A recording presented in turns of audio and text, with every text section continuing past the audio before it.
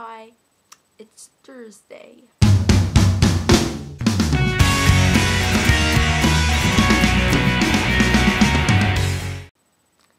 Okay, so today I'm very, very excited. I'm going to see Jimmy Carr, who is this guy. And for those of you who are American, he's like this English comedian, and he's he's funny, and he tends to do more telling jokes rather than stand up. Um, he's quite rude, and that is why I'm really puzzled why my mum is insisting on coming.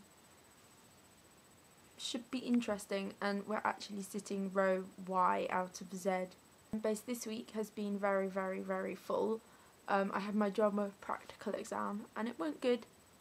Um, a few like line cock-ups, but they got hidden quite well, so it's all good. And our drama teacher said we did well. I don't she not I don't think she'll mark grade. I think she's just saying, Oh yeah, you did well.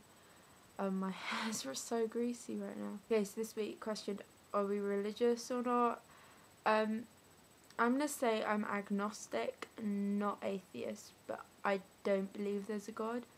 I've been told the difference is that atheist is where you believe there's no possible way that there could ever be a God or religion and it's all stupid.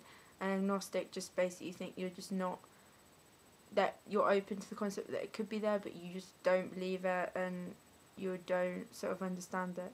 Um, I don't think I'm ignorant. Like someone just said, "Oh, you're really ignorant thinking that," but like RS at school, we learn like oh the Christian thoughts about it, um, and like I agree with some of them, but not all of them, and I know you have to agree with all of them to be a Christian yeah, I still celebrate Christmas and stuff. And today, as it happens, uh, like, because I go to a Christian school, um, like, we go to chapel two out of three weeks. And um, today we had Eucharist, which is like an hour long thing.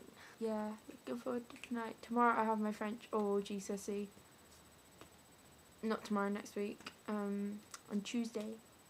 Uh, yeah and I'm okay at French, just not speaking it. Bonjour, je m'appelle Francesca. Um, je pense que c'est très bien que les Nerdfighters sont sur YouTube parce que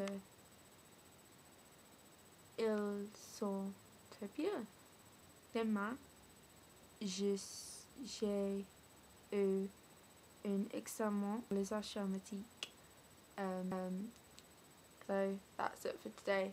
This video's been boring and I hope once we get all organised videos will become a little bit more interesting and Trina looking forward to your challenge and Zaid I'll see you tomorrow.